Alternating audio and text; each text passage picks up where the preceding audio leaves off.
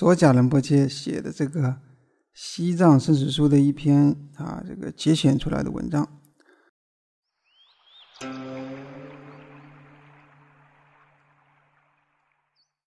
无量劫来，有情生命在三界中流浪，找不到真正的家。现在呢，我们来学习怎样把心带回家。学习禅坐是修行者这辈子所能给予自己最大的礼物。学习禅坐呢，就是学习怎样让心清静下来，用禅定力。把负面的情绪调伏，保持一个客观清净的心态，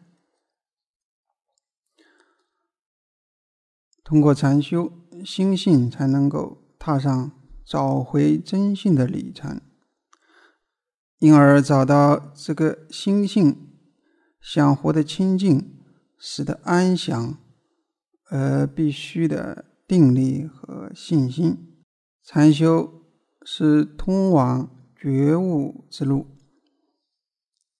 幸运的是，我们生活在有许多人喜爱禅修的一个时代。禅修越来越被认为是超越文化、超越宗教藩篱的法门。宗教有呃许多仪轨，现在。我们在传播佛法的时候，会把很多宗教仪轨的形式剥离出去，学习怎么样把理论付诸于实践，而直接去体验真相，去体悟实证这个真理，啊，而不是打着这个三一来展现一些啊宗教仪轨流于形式。现在很多人对佛法有一些错误的认识，他们认为宇宙中啊或者世界上有一个主或者有个神来主宰一切。佛法呢，通过修行呢，我们可以证悟真理：这个世界上没有主宰一切的神，没有控制一切的主，啊，就是我们常说的没有什么救世主，啊，每个人都是自己的救世主。佛陀、菩萨们以及其他宗教的啊教职人员是我们的老师，通过他们的教化，我们每个人来拯救自己，让这个禅修者直接啊触及我们的生命真相，让当下超越宗教的教条，这是一切宗教的核心。我们一直强调。学佛要有追求真理的科学精神，要有实事求是的精神。出家人到各个地方去弘法，跟居士们接触的时候也一样，要有这样的精神啊！不要跟他们拉家常、搞人际关系。讲法的时候呢，尽量少讲一些世俗的事情。大体上来说，有情生命都迷失了真正的自信。啊，有情生命呢，都是执着这个假我，执着这个无蕴身，在无止歇的活动中浪费生命。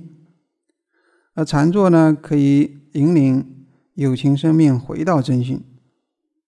禅坐是让妄心退去，呈现真心的一个基本条件。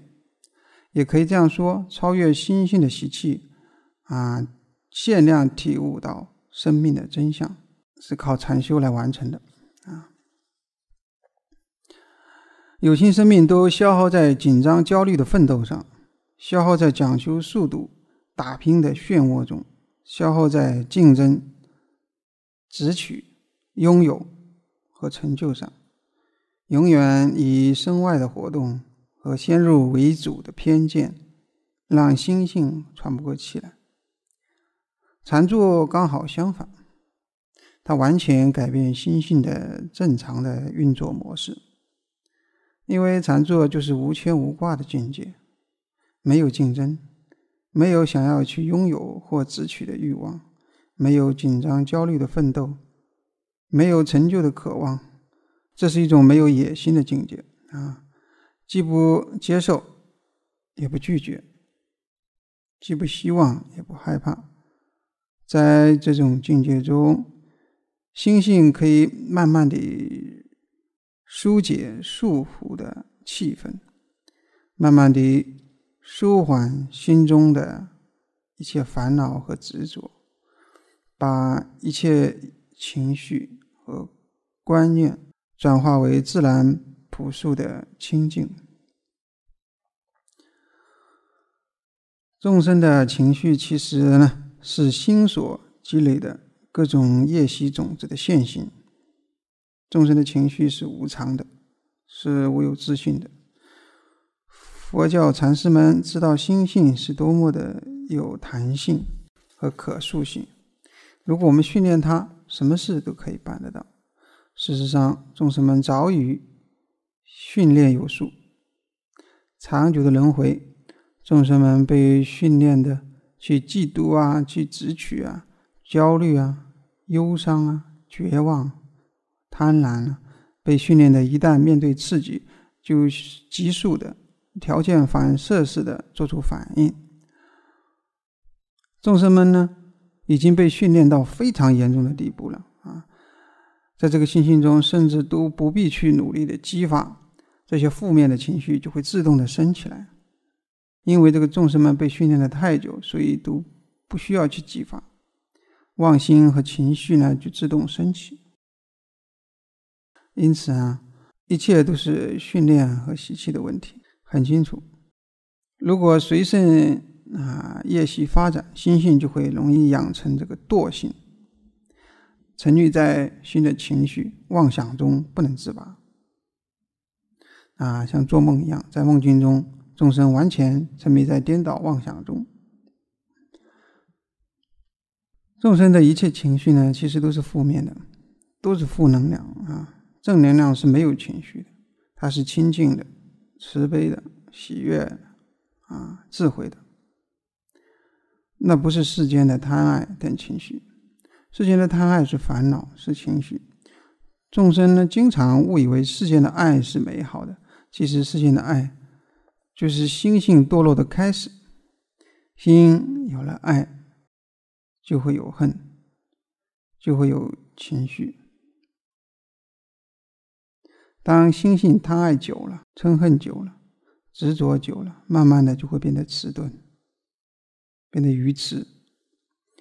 当贪爱心只取不舍的时候，就会害怕失去，就会升起怀疑。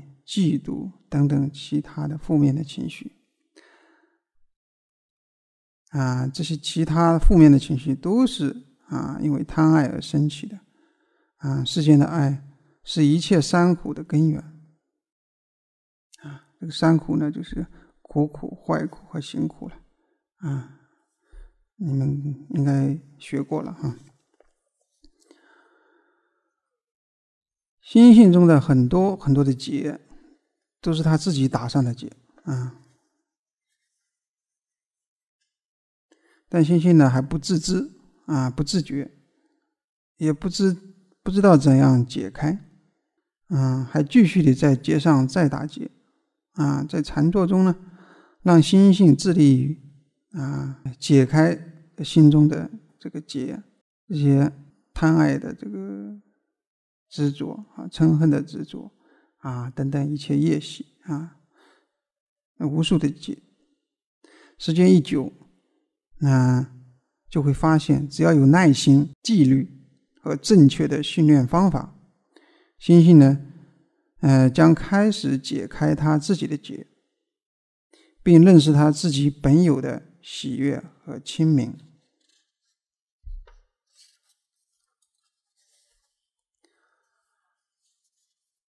训练这个心性啊，绝不是强迫把妄心压制下来。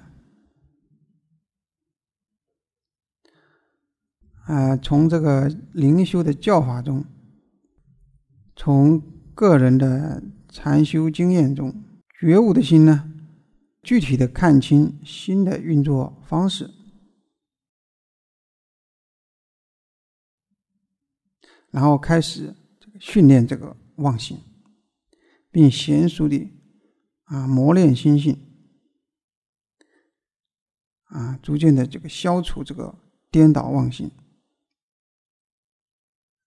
啊，所以说不是压制他们啊，掌握了这个方法以后呢，觉悟的心呢就要不断的去练习，只有不断的去练习呢，最后才能够彻底的消除一切妄心、颠倒妄想、执着。啊，这跟有些世间法是很类似的啊，比如啊，我们练太极拳，你学会了这个套路以后，要天天要练啊，练完了以后呢，还要跟同修对练，这样我们才能真正的有功夫啊，不光有功夫，还得有对峙敌人的这个丰富的、灵活的经验啊。啊，练套路呢，可以增长我们的这个内功；对练呢，可以积累这个消灭敌人的经验。嗯，这个灵活掌握这个真正的拳法的经验。那我们像下围棋也是这样，你学会了啊，围棋怎么下法了，就要天天去练习怎么布局啊，怎么占地方啊，怎么练习这个死活的对杀呀，然后还有跟别人去对练啊，在对练中成长啊。啊，像世间呢像作家一样的，作家也是必须通过从小的学习，长年累月的这个辛苦的这个钻研啊，慢慢的才能够下笔啊，如行云流水。啊，呃，像世间让咱们练习这个跳舞的人，这个舞蹈家啊，从小呢就练习学习啊，花费十几二十年的这个心血啊，耐心的苦练，才能够翩翩起舞。啊，都一样的啊。学习这个佛教中的这个禅修也是这样的啊。当心性开始觉悟的时候呢，啊，掌握了正确的方法，心性啊也是要长期的练习自己。练习到一定的时候，就会出神入化啊。不管你干什么啊，啊，只要啊这个心呐，那个全力以赴的投入，就会达到这一一个出神入化的境界。啊，世间法是这个样子啊。啊，禅修也是这样的。那么做这件事情呢，是太有意义了啊！应该说比干什么事情都有意义啊，在生命中最有意义的事情。通过这个禅修啊，学习掌握这种禅修的方法，心性可以认识宇宙的真理，现证宇宙的真相，让心性变得清净自在、妙用。这才是生命中最有意义的事情。那么做其他的事情呢？其实，呃，也都是为了磨练我们。我们的心要觉悟，觉悟了以后呢，我们在做世间的事情就变得也有意义了。那个时候，我们做世间的事情，就是为了让自己的心去锻炼、去实证、去利益众生，在利益众生的过程当中圆满心性。如果没有觉悟，那就是在外面、外面的这些幻象上追求。心外求法，那么你的生命就变得毫无意义了，并且会给自己带来无量的痛苦。禅修可以让这个心变得越来越柔软，如此一来呢，心性就可以成为自己的主人，让心性自由的发挥，清净圆满。如果心性训练的极度的清净、柔软，没有任何的情绪。那么很快呢，就会发现真理，啊，心开意解，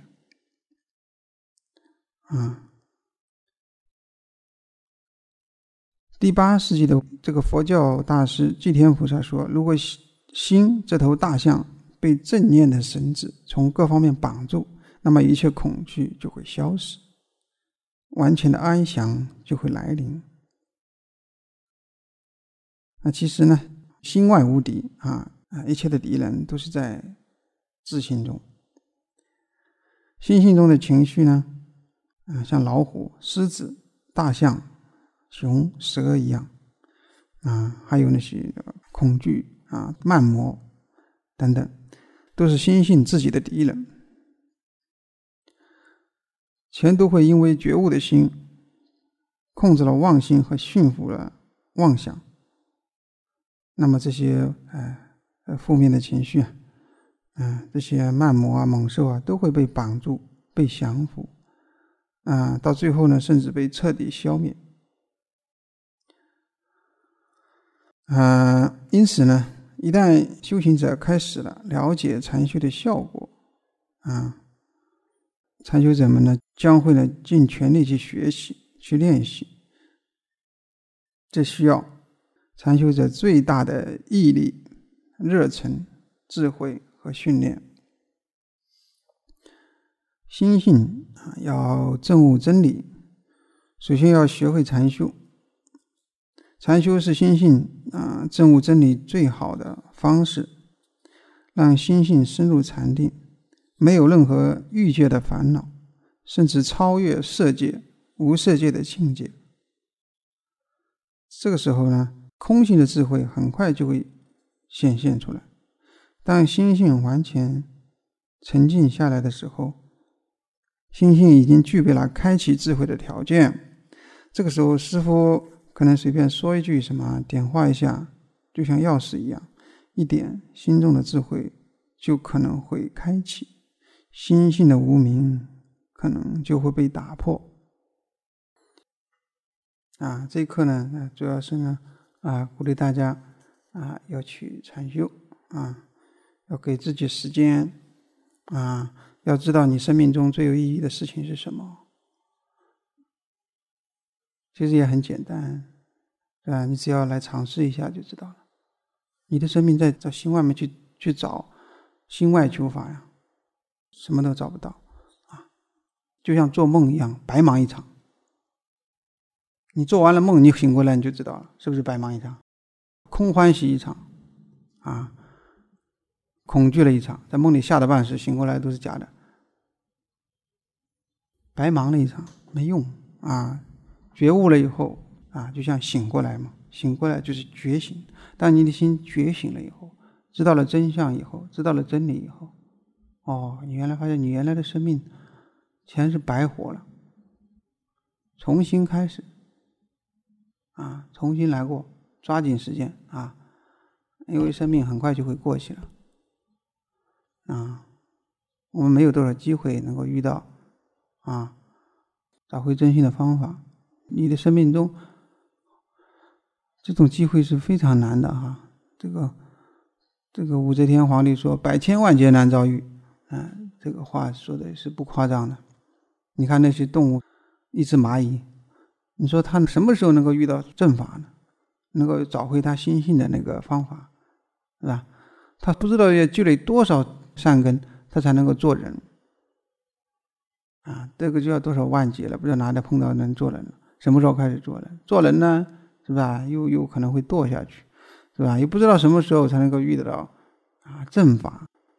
寻找真理的人很多，但是能找到真理的人寥落星辰呢。啊，那现在外面充满了各种各样的外道，包括佛教内部也是这样，都是流于形式，是吧？佛教内部你们都知道了，都是心外求法嘛。啊，烧香、磕头、念经、放生。啊，你你得到什么了呢？啊，还是在做梦啊？啊，没有觉悟啊，没有觉醒啊。那佛陀是叫我们觉悟啊，佛陀本身就是翻译过来就是觉悟啊。觉悟是让你的心觉醒啊，啊，醒啊，觉醒啊。这个醒呢是有反省的醒，也是醒悟的醒，也是那个醒来的醒啊，睡醒的醒啊，睡醒了。但我们要醒过来啊！我们都平常都知道，我们比睡梦中人要理智的多，是吧？要智慧的多。那我们通过禅修，通过学习以后，你当你觉悟了一下，你就会发现，原来就跟做梦差不多。啊，你突然一下突破了自己的那种啊，就像从梦中醒过来一样，啊啊，你会自己啊很欢喜啊！我想每个人醒来都会很欢喜的。当你有智慧开启了的时候，你发现原自己原来那么愚痴，原来那么颠倒啊，这个都有意义啊。我们要这样子去学习佛法啊，我们要建立一个全新的学习佛法的一个一个观念啊，这个观念很重要。嗯，希望没有什么宗教信仰的人，初学者听到这个话，哎，给他打开一扇门，他们愿意来找回自己的真心。好吧，我们今天就讲这么多。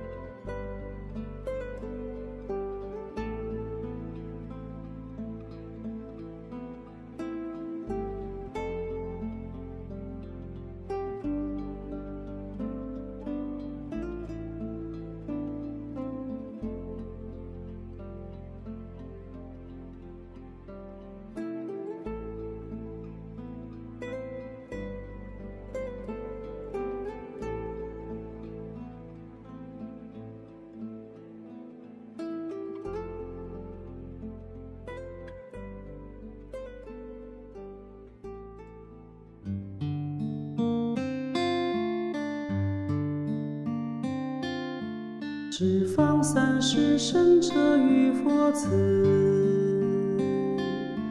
其情慈爱看顾我等众，具此修此具福之行者，只观之道无谬深道义。我等于此经初禅修时。祈愿此道生起于心绪，此身现象犹如水中月，了此此际万物本毛也。寻觅离心心心见地